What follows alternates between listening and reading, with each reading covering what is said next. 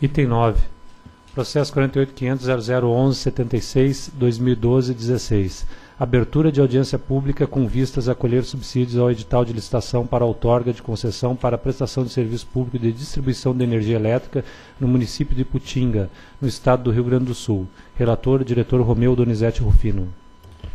O serviço de distribuição de energia elétrica no município de Putinga, Rio Grande do Sul, com cerca de 4.150 habitantes, vem sendo prestado de maneira informal e atípica pelo Departamento Municipal de Energia Elétrica de Putinga, que não possui outorga do direito de concessão para exploração desse serviço. Para atender as 1.437 unidades consumidoras da, da região, o departamento adquire energia da concessionária RGE. Em 22 de março de 2004, por meio de despacho 234 daquele ano, a diretoria da ANEL negou provimento ao pedido da Prefeitura de Putinga para que lhe fosse otorgada a competência para a prestação de serviço público de geração e distribuição de energia elétrica e determinou que a regularização do serviço ocorresse mediante outorga de concessão precedida de licitação. De início, imaginava-se que a regularização ocorreria mediante outorga de concessão autônoma para o município de Putinga. Entretanto, os estudos conduzidos no âmbito da agência demonstraram ser inviável a constituição de concessão autônoma para atendimento apenas daquela localidade, conforme consta de nota técnica de número 417 da SRE 17 de dezembro de 2009 lavrado por aquela superintendência. Diante desse fato, iniciou-se discussões para regularizar os serviços de distribuição de energia elétrica na cidade, na citada área geográfica, mediante a sua incorporação a uma área de concessão já existente, precedida por processo de licitação. Assim, após diversas reuniões com as áreas técnicas envolvidas e a Procuradoria-Geral, a SCT, por meio de nota técnica de número 63 de 2012, 17 de fevereiro, apresentou proposta de edital de leilão com a recomendação para que seja submetido ao procedimento de audiência pública com o objetivo de colher subsídio para seu aperfeiçoamento. É o relatório. Procuradoria. Aqui o item 9 também se trata de abertura de audiência pública e também ainda não há questão jurídica posta.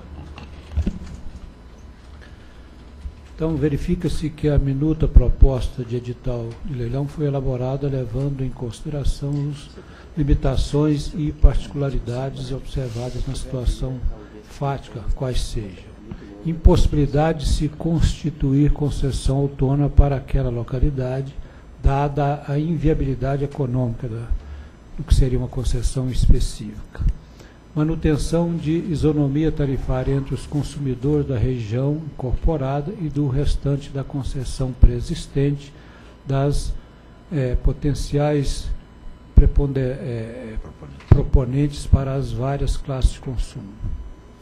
Conjugação de tarifas é, conhecidas e reguladas, estabelecidas pela agência, com propostas livremente dadas pelos proponentes, sem prejuízo da competitividade. E manutenção de critério objetivo de julgamento de propostas previsto no artigo 15 da Lei 898795, que possa ser revestido em modicidade tarifária e que garanta a competitividade ao certame, respeitando a isonomia entre os proponentes.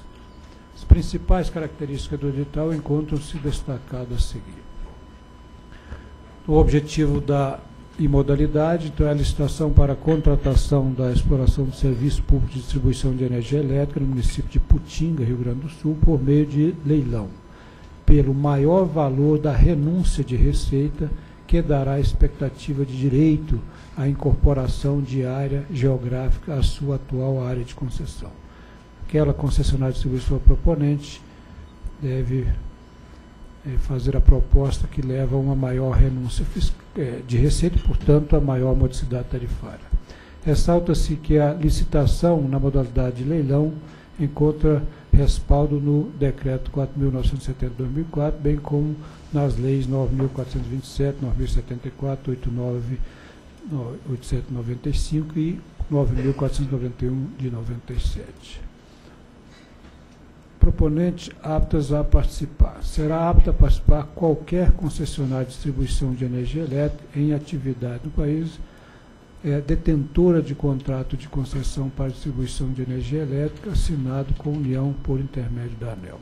Quanto a esse ponto, o edital proposto exclui a possibilidade de participação das permissionárias, pois são cooperativas de eletrificação rural regularizadas pela sua situação de fato como prestadora dos serviços públicos de distribuição, com base no disposto aí no artigo 23 da Lei 9.074/95.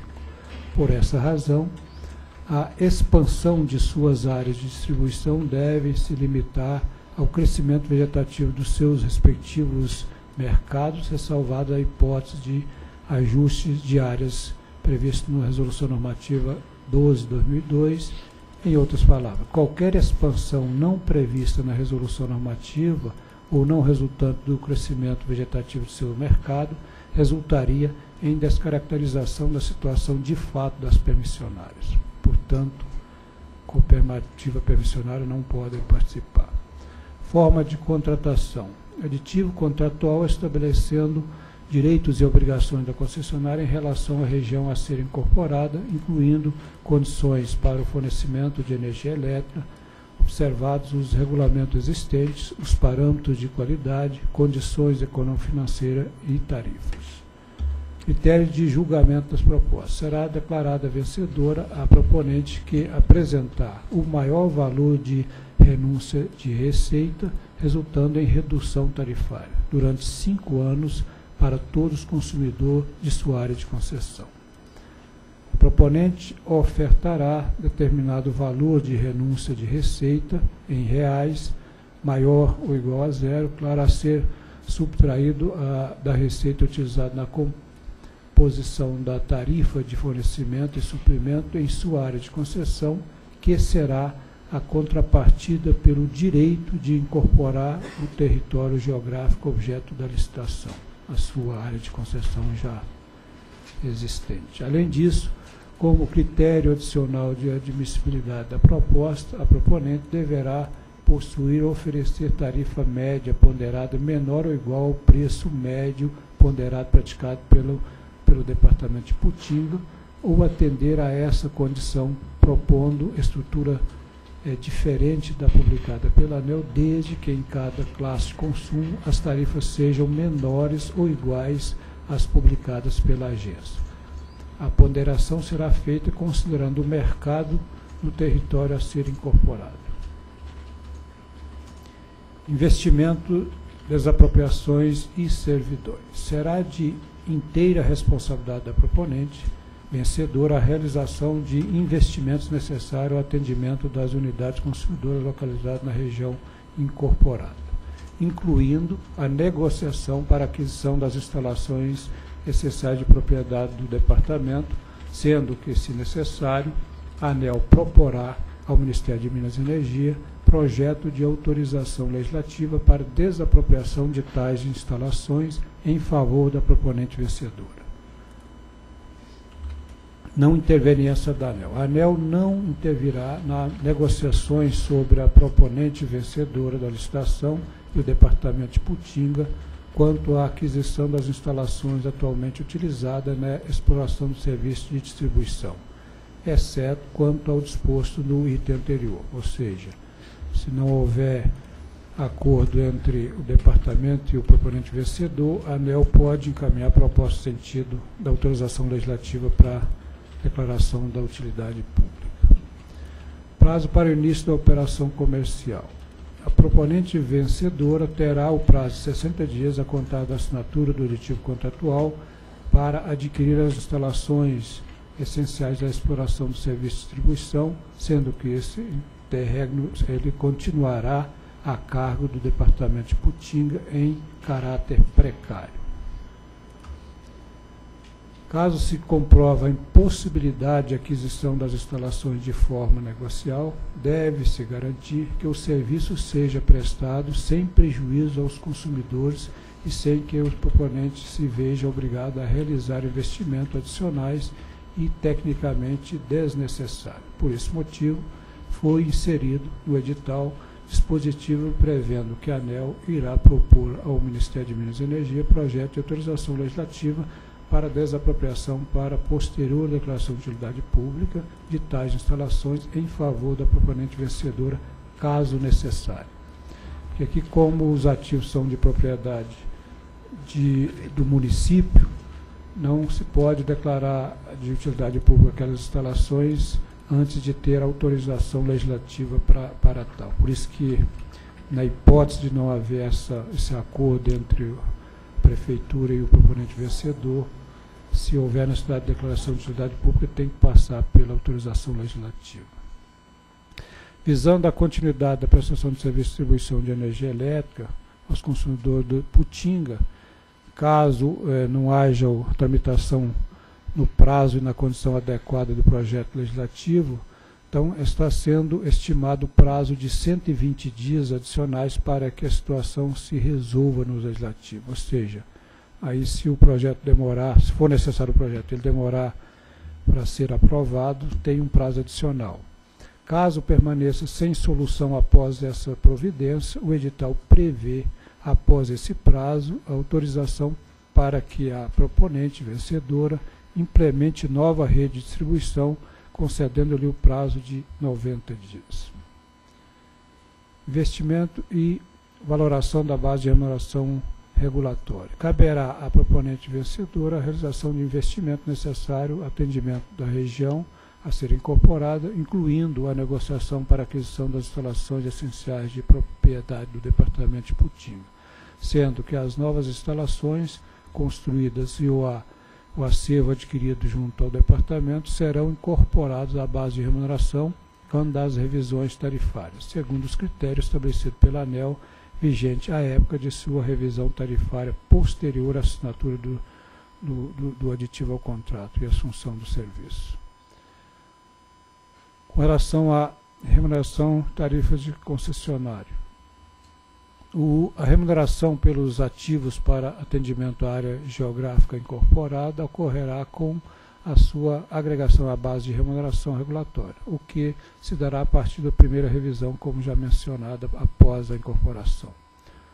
Outras condições, salvo nos casos previstos em lei, a concessionária não poderá pleitear reequilíbrio econômico-financeiro sob a alegação de resultados inesperados com a incorporação do território objeto da licitação. Por fim, ressalta-se que a audiência pública é uma das formas de participação e de controle popular da administração pública no Estado social e democrático de direito, propiciando a particular a troca de informações com o administrador, com bem assim o exercício da cidadania e o, o respeito ao princípio do devido processo legal em sentido substantivo. Nesse sentido, afigura-se pertinente acolher a recomendação da SCT de submeter a minuta do edital ao procedimento de audiência pública, objetivando aprimorar as regras do certame proposto. Passa ao dispositivo, então, do exposto com base nos documentos constantes do processo 48.500.001.176.2012.16, voto pela promoção de audiência pública por intercâmbio documental pelo período de 29 de março a 30 de abril de 2012, com o objetivo de obter subsídio de informações adicionais para o aprimoramento do edital de leilão para a regularização exploração do serviço público de distribuição de energia elétrica na área geográfica atualmente atendida pelo Departamento Municipal de Energia Elétrica de Putinga. Ok, em discussão? Está desencravando aí um. Esperamos, né? Mas ainda temos alguns desafios aqui para serem vencidos. Né? E em votação? Voto com o relator. Também voto com o relator. Também voto com o relator. Também voto com o relator. A diretoria decidiu por promoção de agência pública, intercâmbio documental entre 29 de março e 30 de abril de 2012, com o objetivo de obter subsídios de informações adicionais para o aprimoramento do edital do leilão para a regulação da exploração de serviços públicos de distribuição de energia elétrica na área geográfica atualmente atendida pelo Departamento Municipal de Energia Elétrica de Putinga.